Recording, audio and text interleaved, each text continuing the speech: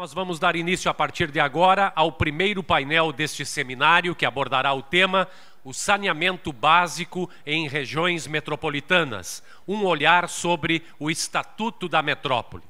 Nós convidamos para esta palestra Vitor Carvalho Pinto. Vitor Carvalho Pinto é bacharel em Direito, doutor em Direito Econômico e Financeiro pela Universidade de São Paulo, integrou a carreira de especialista em políticas públicas e gestão governamental do governo federal, jurista especializado em infraestrutura e desenvolvimento urbano, consultor legislativo do Senado Federal nas áreas de desenvolvimento urbano e de transportes. Informamos a todos que as perguntas deverão ser formuladas por escrito e repassadas através das nossas assistentes de sala, que no momento apropriado para o debate elas serão contempladas. Nós passamos a palavra então para a sua apresentação a Vitor Carvalho Pinto. Bom dia a todos. Quero agradecer imensamente ao Sindicato de Engenheiros do Rio Grande do Sul por esse convite. Para mim é uma honra estar aqui nesse estado. Eu sou paulista, radicado em Brasília, mas me orgulho muito de ser casado com uma gaúcha. E eu venho regularmente ao Rio Grande do Sul, o estado pelo qual tenho grande apreço. E também me alegra muito ver o interesse dos engenheiros pelo tema do saneamento, que provavelmente é o tema social é, mais urgente para o Brasil no momento. Nós vemos essa epidemia do, do mosquito, né? É, que se alastra rapidamente, ela certamente tem uma relação direta com o saneamento. É, mas eu não preciso explicar isso aqui para vocês, porque vocês sabem disso muito melhor do que eu, né, a importância do saneamento. Então eu quero ser muito direto e abordar rapidamente aqui o nosso tema, que é o Estatuto da Metrópole, a questão metropolitana e a interface com o saneamento. É, na expectativa de ter um debate na sequência muito produtivo com os convidados.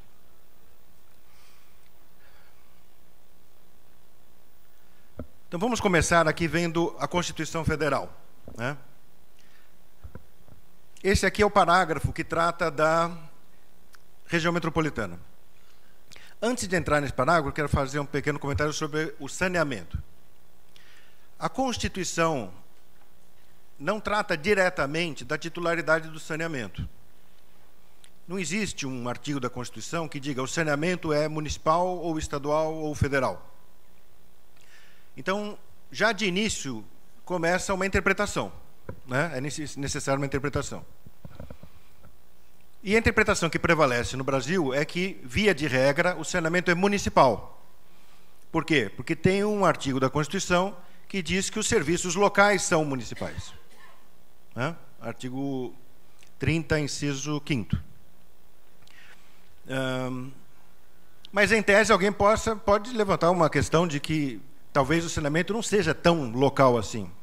Talvez ele tenha um impacto maior do que o município, ou em determinadas circunstâncias geográficas ele tenha uma dimensão que não é propriamente local ou exclusivamente local. Né?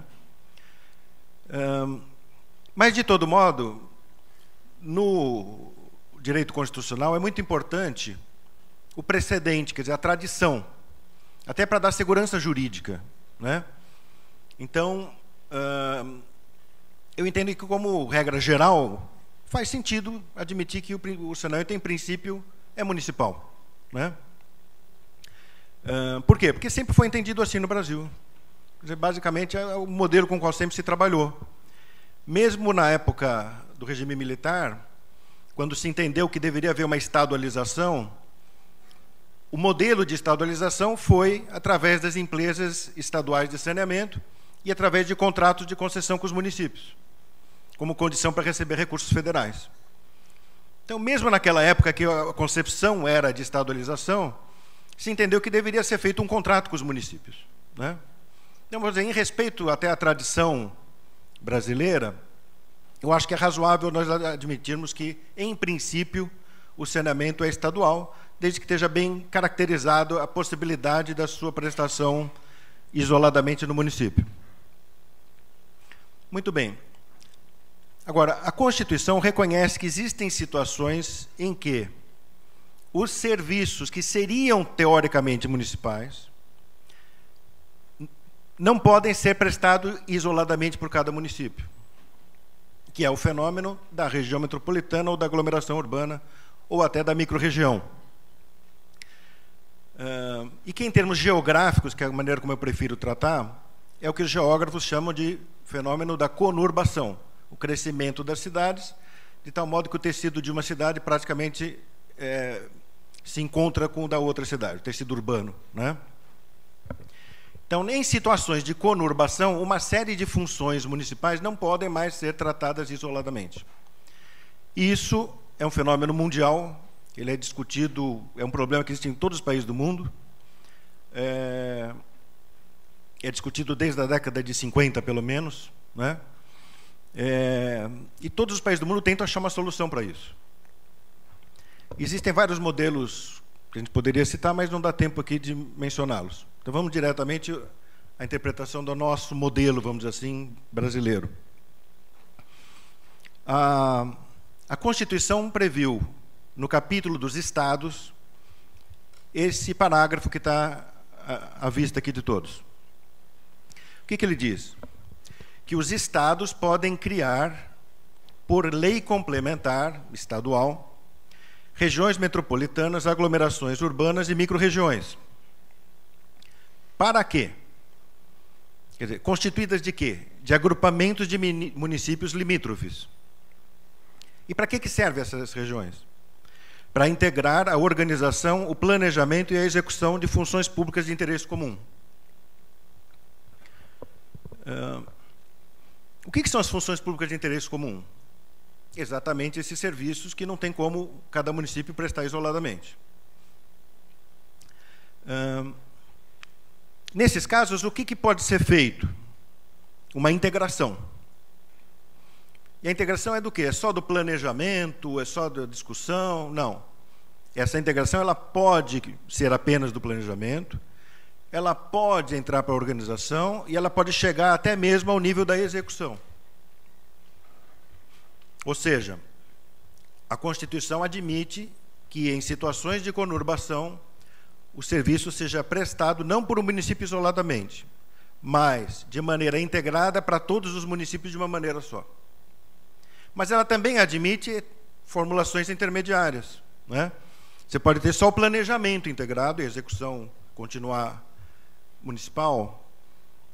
Enfim, existe uma variedade, mas ela admite que se chegue ao ponto de a execução não ser municipal. Uh, os municípios, eles são consultados, eles têm que concordar em entrar para essa região? O texto que nós temos é só esse aqui, não tem mais nada. Então a resposta é não. O município não é consultado. Ele não tem o direito de não entrar para a região. A região é criada pelo Estado, pela lei complementar estadual. Uma vez criada a região, o município está dentro. Ele não pode fazer uma lei municipal e dizer: olha, eu não quero participar da região. Por quê? Porque numa situação de conurbação, todo o território é essencial para o planejamento integrado. Você tira um pedacinho do território da região, fica inviabilizada a prestação do serviço para todo o resto da região. Então o município não pode não entrar para a região. Ele vai, se ele não quer entrar, ele tem que ir lá na Assembleia Legislativa e dizer que não quer entrar. É a Assembleia que vai resolver. Bom, mas tudo isso que eu falei até agora não resolveu nada. Porque a grande pergunta é o seguinte: o que significa essa tal integração? O que, que realmente acontece com esses serviços? Não é? E aí é que nós tivemos décadas de dúvida, né? É, que o, o Dr. Presser explicou muito bem aqui a gravidade desse tipo de dúvida. Né? Hoje em dia nós temos já uma certa luz no fim do túnel, por assim dizer, que é um acórdão do Supremo Tribunal Federal de 2013, que julgou uma causa em que se discutia justamente a titularidade do saneamento na região metropolitana do estado do Rio de Janeiro. Né? Uh, vocês podem imaginar que havia duas posições em, em disputa. Quer dizer, a origem dessa ação é que alguns municípios não queriam mais participar uh, da região, vamos dizer assim, Eles não queriam mais que o serviço fosse prestado pela empresa estadual. Basicamente, a origem era essa, a disputa. Então, qualquer pessoa imaginaria que o, o tribunal teria que dizer que ou o serviço é municipal ou o serviço é estadual. Correto? Muito bem. E o tribunal disse uma coisa diferente. Ele deu a vitória, por assim dizer, para o município. Um, dizendo que o serviço não é estadual. Mesmo havendo conurbação, mesmo havendo região metropolitana, etc., não é estadual. Mas, para não criar confusão, o tribunal acrescentou: ele não é estadual, mas ele também não é municipal. Né? Então, não vão vocês agora sair correndo aí, se afastar da, da empresa estadual e criar suas próprias concessões. E aí o tribunal se apegou, digamos assim, a essa expressão. Opa, peraí. Ver se eu consigo. Bom, agrupamento de municípios. Que é um pedaço do parágrafo que ninguém tinha prestado muita atenção. Todo mundo achava que agrupamento de municípios é simplesmente o perímetro. Mas o tribunal falou: não, não, agrupamento de municípios é a figura jurídica que vai responder pelo planejamento, pela organização e pela execução. E aí ele então explicou o que é esse agrupamento. Ele disse o seguinte: o agrupamento é uma pessoa jurídica de direito público de que fazem parte todos os municípios da região e o Estado. Eh, ele não usou a palavra autarquia, mas no direito brasileiro ele descreveu uma autarquia. Então nós podemos entender que o tribunal entende que numa situação dessa de disputa deve ser criada uma autarquia. Nós sabemos que é uma autarquia, certo? Que é um, uma figura de, de, de, direito público de, da administração indireta. Um, só que ele diz o seguinte: essa autarquia ela não é um órgão da administração indireta do Estado. Ela é um órgão interfederativo. Então, ela está, vamos dizer, pairando acima da, da, da estrutura tradicional da, da Federação Brasileira. Tá? É...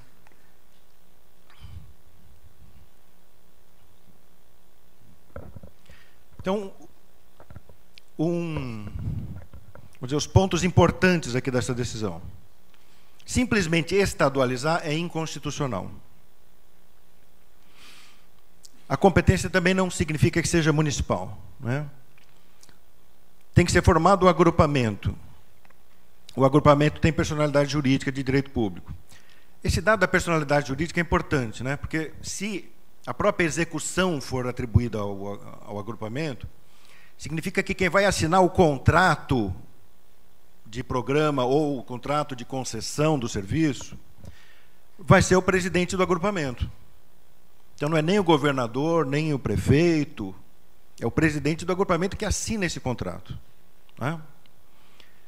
Todas aquelas obrigações da lei do saneamento básico atribuídas ao titular seriam obrigações atribuídas ao agrupamento. Ou seja, quem tem que fazer o plano de saneamento básico seria o agrupamento.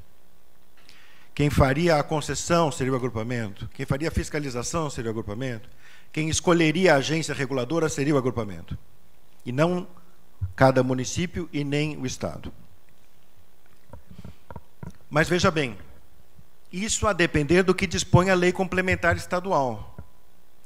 Quem define o perímetro da região, quem define quais serviços fazem parte, são considerados funções públicas de interesse comum, quem define dentro desses serviços quais elementos são funções públicas de interesse comum, é a lei complementar estadual. Então não existe um tratamento idêntico homogêneo para todo o país. Né? É, eu acho que é importante, porque nós muitas vezes, nessas, em várias matérias desse tipo, nos esquecemos que existe o Estado, existe a Assembleia Legislativa, né? Quer dizer, então é lá que tem que ser debatido isso. Não é nem no Poder Judiciário, nem em Brasília, né? é, e nem apenas na mídia, digamos assim, bate-boca. Tem que ir lá na Assembleia Legislativa discutir com os deputados estaduais. Lá é o lugar né, de ser discutido isso. Se alguém acha que o município dele não devia estar na região metropolitana, se outro acha que devia, enfim, o local, o local para ser discutido é lá na Assembleia Legislativa, não é no Poder Judiciário. Né? Claro, o Poder Judiciário depois vai interpretar essa lei complementar estadual.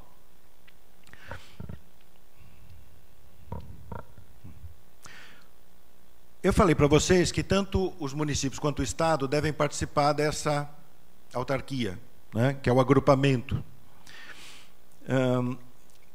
agora, o tribunal ele disse o seguinte, que o voto não tem que ser um para cada para cada ente.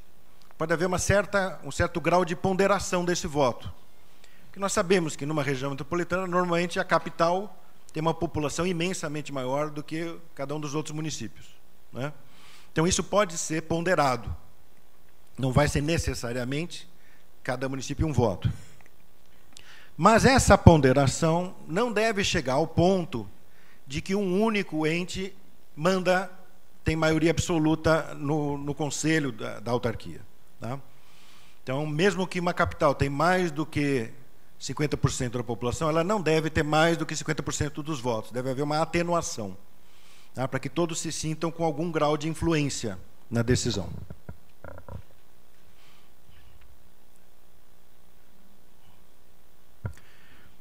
Bom, aqui eu, eu destaquei os próprios artigos da lei do Rio de Janeiro que foram considerados inconstitucionais. Eu vou passar rapidamente, que hoje seria um detalhamento um pouco mais técnico. Né? Ah, mas vejam vocês, a lei do Rio de Janeiro previa que as decisões metropolitanas eram tomadas por um conselho, que os municípios estão representados, mas depois ratificadas pelo governador. Essa ratificação foi considerada inconstitucional. A lei também previa que haveria um plano diretor metropolitano do Rio de Janeiro, aprovado pelo Conselho, mas depois submetido à Assembleia Legislativa o Supremo Tribunal Federal diz que não pode submeter a Assembleia Legislativa, porque a Assembleia Legislativa é um órgão estadual. Ela integra o governo do Estado. Ela não é interfederativa. Então, veja bem, isso é importante. Ele não disse que não possa haver o plano diretor metropolitano, ele admitiu. Mas desde que seja aprovado apenas no Conselho, ele não vai para a Assembleia Legislativa.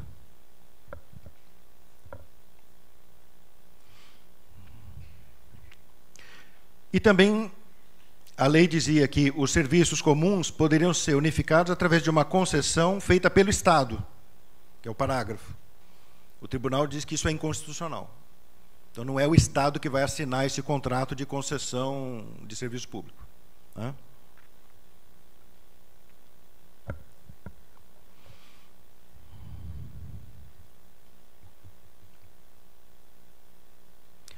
Eu vou passar esse aqui, que é mais um detalhamento dessa, desse conceito. Né? Por outro lado, foram considerados constitucionais, isso também é importante, que virou um precedente. Né? Que existe uma definição do que é interesse metropolitano nessa lei estadual do Rio de Janeiro. Isso foi considerado constitucional. Funções ou serviços que atendam mais de um município, assim como os que, restritos ao território de um deles, sejam de algum modo dependentes, concorrentes, confluentes ou integrados de funções públicas. Então vocês vejam que não é só aquilo que tecnicamente não possa ser feito apenas no território do município. É também aquilo que influencia, que tem um impacto externo. O serviço que é pode, poderia, em tese, ser feito só dentro do município, mas ele teria um impacto externo que afetaria outros municípios. Então, isso pode ser entendido como um, uma interpretação do que, que é o metropolitano. Né? E lá no Rio de Janeiro, um dos serviços que foi considerado metropolitano é o saneamento básico. Isso foi aceito, quer dizer, é constitucional, foi entendido como constitucional. E também o uso do solo. Né? Foi entendido como uh, metropolitano também. Foi aceito que o Conselho aprovasse o plano metropolitano, plano diretor. Foi aceito que o Conselho elabore projetos e programas de interesse da região, relativos a essas funções de interesse comum. E, mas, e também foi aceito que o Estado tem um papel de coordenação, né? de acompanhamento, avaliação dos programas é, e projetos. Então, não é que o, também o agrupamento de municípios, apesar do nome, né, na interpretação do Supremo Tribunal, ele também tem a participação do Estado. Ele é dos municípios, mas não é exclusivamente dos municípios. Né? O, município, o Estado tem um papel de coordenação, ele pode ter um papel de coordenação.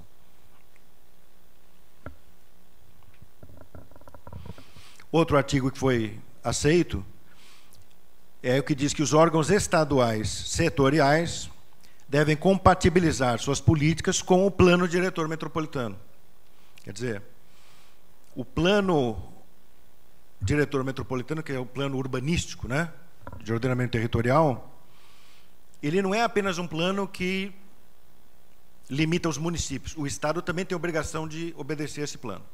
Tá? Então, o agrupamento, mais uma vez, o agrupamento de municípios, ele é dos municípios e também do Estado. O que ele aprova, o planejamento dele, as normas, decisões dele, o Estado também tem obrigação de obedecer. Assim como os municípios. O que, que a gente poderia comentar desse acórdão? A meu ver, ele é um acórdão positivo. Eu sou simpático ao acórdão. Tem muitos colegas que, enfim, não, não viram com bons olhos o acordo. Por que, que eu sou simpático com o acordo? Primeiro, ele deixou claro que em áreas conurbadas a autonomia municipal é mitigada, não é a mesma autonomia que os juristas falam em tese de um município abstrato. Né? Quer dizer, se está numa área conurbada que foi reconhecida como metropolitana, não é a mesmo direito constitucional que você vai aplicar. Existe uma diferença. Por incrível que pareça, muitos juristas ainda não entendiam isso. Achavam que o município era absolutamente homogêneo em todo o país. Reconheceu que as funções de interesse comum não podem ser isoladamente exercidas pelos municípios. Reconheceu que os municípios têm o direito de participar da governança metropolitana, que também é uma distorção. A maioria das regiões metropolitanas do país é, os municípios têm um papel meio decorativo. Elas são realmente muito estadualizadas, né? quase todas. Então, isso realmente é uma distorção que tem que ser corrigida. Admitiu a ponderação de votos, que também é importante, porque se, uma, se cada município tivesse um voto, a capital poderia não querer entrar, porque ela ficaria ali submetida à vontade dos municípios pequenos. Então, também é importante essa ponderação. Né? E mais importante, que ele entendeu que, apesar do municipalismo da Constituição brasileira, isso não é impedimento para a criação desses agrupamentos compulsórios. Né? E aí eu não tenho tempo de me estender, mas eu queria deixar claro que esses agrupamentos compulsórios são absolutamente corriqueiros em vários países do mundo. Né? Na Europa, por exemplo, na Alemanha, na, na Itália, em Portugal, na Espanha, é, se vocês tiverem algum dia oportunidade de conversar com alguém desses países, aproveitem e perguntem. Eu tenho feito isso, principalmente depois do acórdão, sempre que eu encontro com alguém de um país desse, eu pergunto: escuta, como é que como é que funciona? Existem esses agrupamentos? São absolutamente corriqueiros, gente. Né?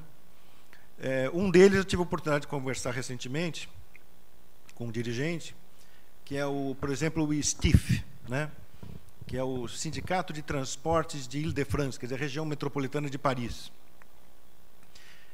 Uh, esse STIF é um agrupamento compulsório de municípios e outros entes que eles têm ali, né, que são aproximadamente mil entes que fazem parte do STIF. Né, toda a região mais ampla de, de Paris. É, ele foi criado mais ou menos nesses moldes, quer dizer, por uma lei de cima para baixo. Ninguém pode sair do, do universo do Steve, ele tem competências totais para regular o transporte na região de Ile-de-France. Muita gente aqui de classe média conhece Paris. Nós sabemos que os transportes lá são extraordinários. Tem trens de todo tipo, várias empresas prestando serviço, tem ônibus, não é? tudo regulado pelo STIF. Tá? Não é prestado pelo STIF, porque em geral, essas empresas são empresas públicas nacionais. Né? Cada tipo de trem daqueles é uma empresa. Mas o STIF ele é quem regula tudo. Ele planeja, ele contrata, ele fixa a tarifa, ele faz tudo. Né? É, e isso explica por que, que na Europa nós achamos aqui que nós temos muitos municípios, de fato temos, né? nós temos 5.570 municípios. A França tem 25 mil municípios, mais ou menos, para um território muito mais reduzido. Aí você perguntaria, mas como é que a França funciona? Porque não é possível agrupamentos de municípios. Né? É amplamente utilizada essa figura do agrupamento de municípios. Então, não é nada do outro mundo. Tá? É apenas um desafio para nós, principalmente para os juristas, entendermos o que, que, é isso. Mas é viável. E eu acho que é uma boa solução. Né? Poderia ter outras, mas essa aqui é uma, é uma das soluções que foi como o Supremo interpretou a Constituição, a meu ver, é uma boa interpretação. Agora, temos alguns pontos negativos. Nós não sabemos muito bem como funciona esse agrupamento no Brasil, para nós é um desafio ainda. Né? Um, o agrupamento não tem impostos próprios. A Constituição só deu impostos para o Estado, para o município e para a União. Não tem imposto de agrupamento. Né? Mas ele pode ter outras receitas que não são imposto. Por exemplo, ele pode ter tarifas, ele pode ter taxas, ele pode ter contribuições de melhoria. Então, que são receitas vinculadas a um serviço. Então, se um serviço que ele tiver integrado ao, ao agrupamento tiver receitas próprias, as receitas podem ser do agrupamento. Né? Mas é insuficiente, porque existem grande parte dos serviços que precisam de subsídio. Não tem receita própria suficiente o autofinanciamento. Então é um desafio. E, a meu ver, existe um risco. Né? O risco é que em grande parte do Brasil, a solução que se encontrou para essas funções de interesse comum ao longo da, das décadas é estadualizar. Então, nós temos, basicamente, ou é municipal, ou se não é municipal, é estadual. E existem muitos serviços que são estadualizados e com subsídio do Estado. Então, nós poderíamos levantar a hipótese de que, se for aplicado o acórdão do Supremo e se retirar o poder do Estado ter dominar esse tipo de serviço e ele ter que compartilhar poder com os municípios, pode acontecer de, em algumas situações, os estados não quererem mais financiar o serviço. É uma hipótese plausível, vamos dizer, em termos de ciência política. E, aparentemente, isso já aconteceu na região metropolitana de Curitiba com os transportes, que tinha uma, linhas de transporte integrado, subsidiadas pelo governo do Estado, e, aparentemente, isso se desconstituiu recentemente. O meu tempo já está quase acabando. O que eu quero dizer aqui do Estatuto da Metrópole é o seguinte: esse acórdão do Supremo é, como todo acórdão, ele é válido apenas entre as partes. Então, quem tem que cumprir o acórdão é o Rio de Janeiro. O Rio Grande do Sul não vai cumprir o acórdão do Rio de Janeiro. Né? E mais, esse acórdão não transitou em julgado. Quer dizer, ele foi publicado, mas houve um recurso que nós chamamos de embargos de declaração, que é pedir para explicar melhor uma parte do acordo. Isso não foi respondido ainda. Então ele não é definitivo também, mesmo lá para o Rio de Janeiro. Apesar disso, é um precedente. Então, vamos dizer, o precedente é alguma coisa que nós devemos saber que existe e entender que, por coerência, aquela mesma orientação deve ser seguida em situações análogas. Tá? Por que, que eu digo isso? Porque agora nós temos o Estatuto da Metrópole, que é uma lei do começo do ano, que trata do mesmo assunto e que deixa algumas dúvidas no ar, o Estatuto da Metrópole. Né? Como o Dr. Prestes bem disse, os políticos, eles, às vezes, adotam expressões um pouco vagas, que é para as coisas serem aprovadas. Nem sempre o político resolve o problema de cara. Mas o judiciário não pode se dar o luxo disso. Às vezes ele tem que pegar aquela questão que ninguém quis chegar ao fundo e dar uma resposta definitiva. Então isso é importante porque esse precedente pode ser usado para interpretar o Estatuto da Metrópole em questões que não ficaram claras. Como, por exemplo, a governança metropolitana. Né? Que o Estatuto diz que sim, tem que ser cooperativa, integrada de todo mundo, mas não se sabia muito bem como. Nós podemos interpretar que é essa governança que ficou meio vaga no Estatuto da Metrópole, é aquela lá do Acórdão do Supremo.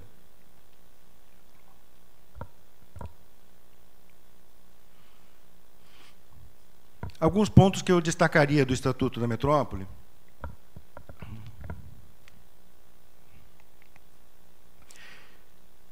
Ele cita especificamente as políticas setoriais, né? Uh, ele tem um foco um pouco maior em desenvolvimento urbano, urbanístico e de ordenamento do território. Mas ele também trata de políticas setoriais. Então, é, ele prevê um processo permanente e compartilhado de planejamento de tomada de decisão quanto ao desenvolvimento urbano e as políticas setoriais afetam as funções públicas de interesse comum. O plano de desenvolvimento urbano integrado passou a ser obrigatório para as regiões metropolitanas, que seria o plano diretor metropolitano. Né? E ele deve tratar, entre outros assuntos, de articular o uso do solo entre os municípios e também a articulação intersetorial das funções públicas metropolitanas. Então, todos os serviços que a lei complementar entendeu que eram metropolitanos devem ser também objeto, do ponto de vista de compatibilização do plano é, metropolitano.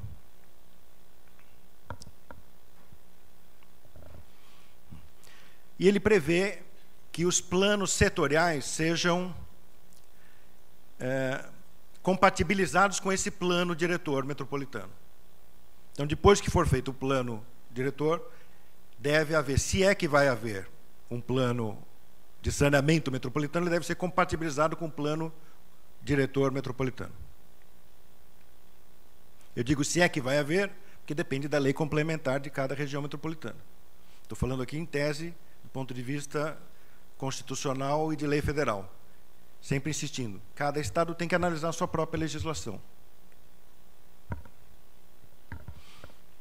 A Lei Nacional do Saneamento Básico, de alguma maneira, também hum, vamos dizer, previa, ela tem uma preocupação né, com a, prestação regionalizada do serviço, como ela chamou. Né? Quer dizer, quando o serviço é prestado a mais de um município simultaneamente. E, a meu ver, nesse ponto, é, os legisladores foram sábios né, de não dizer que o saneamento é municipal você vê que lá na, na lei inteirinha, 11.445, vocês vão ver que ele fala do titular, sem dizer quem é o titular. Né? É, o que facilita agora para nós aplicarmos o acórdão do Supremo, porque nós sabemos que se for metropolitano, e se o saneamento tivesse sido elevado à condição de função de interesse comum, então o titular é o agrupamento de municípios. Né? E o que eu quero dizer é o seguinte: eu acho que existe uma boa compatibilidade da lei do saneamento com essa orientação é, metropolitana. Agora,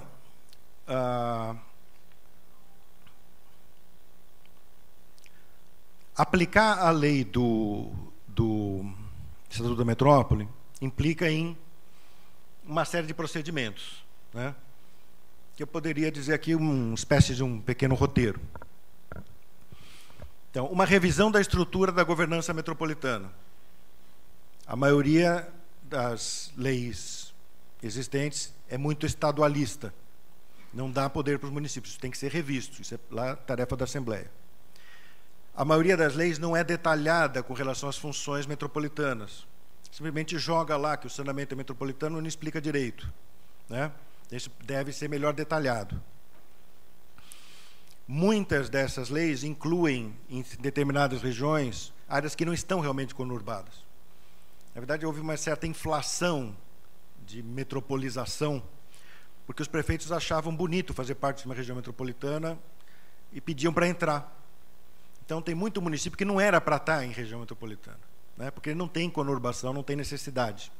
Então, isso também deve ser corrigido. O plano diretor metropolitano tem que ser feito.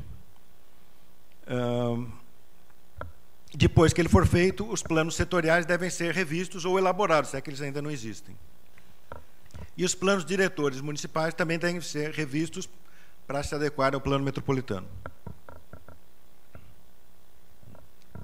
Agora, é, eu queria deixar aqui uma digamos assim, uma provocação, né? É, para situações em que isso, nada disso ainda foi feito, que é justamente a nossa situação atual em todo o Brasil. Ninguém fez todo esse roteiro aqui que eu estou falando. É, e os problemas estão acontecendo. Né? É, ou seja, existem situações de conflito que estão acontecendo, existem iniciativas do, estaduais que os municípios não concordam, existem iniciativas municipais que o Estado não concorda, ou que o outro município não concorda. Né? Dizer, nós não estamos bem institucionalizados e os problemas estão acontecendo. Então, isso tem que ter resposta. E eu quero deixar aqui uma reflexão para vocês, que é o seguinte. As regiões metropolitanas, bem ou mal, têm lá o tal do Conselho Metropolitano. Ele está criado.